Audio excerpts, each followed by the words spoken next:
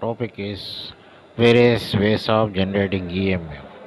So, as we know, Faraday's law. So, what is Faraday's law? From the Faraday's law, we can write VMF is equal to minus N into d phi by dt. Or for singleton, what happens? N becomes 1, then we can write VMF is equal to minus d phi by dt. So, that is second equation. So we know that uh, VMF is equal to closed line integral of E dot dl that is third equation. So and we know the flux magnetic flux is equal to closed surface integral of B dot ds. So where V B is magnetic flux density and phi is flux linked with the closed circuit. So what is uh, Faraday's law? See here. So whenever uh, circuit is having n turns kept in a magnetic field, so EMF is induced in the circuit, right? So so how much uh, voltage or EMF is induced? EMF is equal to minus n into d phi by dt, right? d phi by dt. So we are taking uh, three equations, three and four equation, substituting in second. So second means uh, this equation. So here VMF is equal to closed line integral V dot dl and substitute phi equal to surface integral of B dot ds. So that is the final equation. VMF is equal to so sorry minus wrongly written. So don't don't take minus here. So minus don't take minus. Closed line integral of E dot dl equal to minus d phi by dt. So is equal to d phi by dt the phi place the the phi place right the place of phi right surface integral of b dot ds. So this is the voltage uh, induced in the circuit right right now if you observe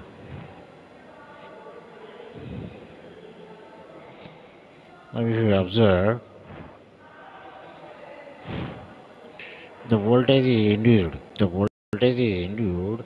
This term must be non-zero. This term must be non-zero. This term must be non-zero. Suppose B is time invariant and surface integral of ds is nothing but area of the flux linked with the circuit so that is also time invariant. So both area and b flux density are time invariant. So differentiation of time inv- invariant components with respect to time. So that means that is a differentiation of the constant. So differentiation of constant becomes what? Zero. So if the both magnetic flux density B is time invariant, not a weight, not time variant, and surface integral of ds area of flux linkage with the circuit, if it is also time invariant, so both are time invariant. So differentiation of the this term becomes time invariant. So it will become it is treated as a constant. So it will become differentiation of the constant. Differentiation of the constant is nothing but nothing but zero. That means no emf is induced right? So if the emf is induced this term must be non-zero. Term must be non-zero. Okay if this term must be non-zero means non-zero means so either magnetic flux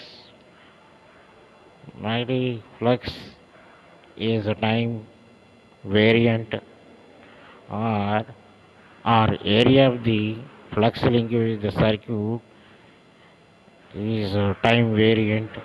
Are both magnetic flux density and area of the flux linkage with the circuit also time variant. In such case so this differentiation of this term becomes non-zero. Right? So either this one is uh, time variant or this one is time variant or three are, two are time variant then only differentiation of this term becomes non-zero. If it is non-zero then only emf is induced. This equation is telling right? So based on this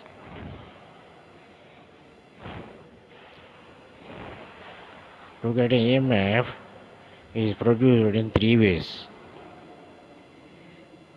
so time varying flux is produced in three ways. So emf is produced in three ways.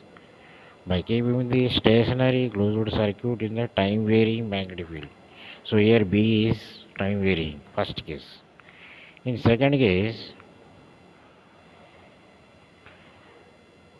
by having the time varying area of the flux linkage with the circuit in a static magnetic field. So the area of the flux linkage with the circuit is varying with the time. How it is possible? So by moving the circuit or, by moving the by rotating the circuit in the magnetic field. So then only the area of flux linkage becomes time varying. Third case, both are time varying.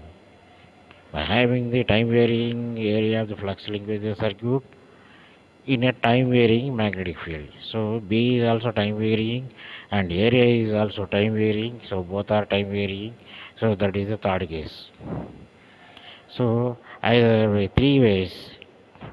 In three ways we can generate the EMF. Now let us see first one so A, so stationary closed circuit in a time varying magnetic field. So this is a closed circuit is kept in the magnetic field. So these arrows indicates the magnetic field. So magnetic field here it is function of time. So magnetic flux density function of time B of t. So in figure stationary circuit is kept in the time varying magnetic field B of t. Right. So as we know Vm is equal to closed line integral V dot dl is equal to minus d by dt of surface integral B dot ds. Right. So, so here B is the time varying uh, parameter. So we are differentiating B. So differentiation is taken into the inside of the integral. So dou V by dou d dot ds. So this is the EMF equation. So this EMF is generated due to, due to the time varying magnetic field. So that's why it is called, this type of EMF is called transformer EMF. So because this is the transformer action. What is the transformer action? So we apply time varying current to the primary winding then time varying magnetic field is developed on the core of the transformer this time varying magnetic field cutting the secondary winding, then EMF is induced in the secondary winding. So, in the EMF, EMF induced in the second winding is due to the time varying magnetic field produced by the primary current. So, that's why this type of EMF is called transformer EMF. This is called transformer EMF right now by applying Stokes theorem to first equation so line integral becomes surface integral so E is called so del cross C dot ds this is the Stokes theorem. That is equal to surface integral dou b dot dou t by ds right? Now you have to compare this one this integral this integral. So del cross E is equal to we can write so minus dou v by dou t. This is the first equation.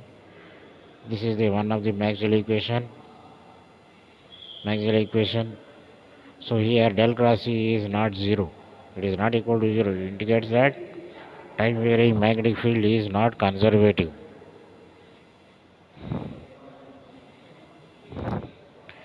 and second one moving moving the circuit in a static magnetic field. So what you are doing here it is the time varying area the flux linkage with the circuit in a magnetic field is achieved by moving the circuit in the magnetic field.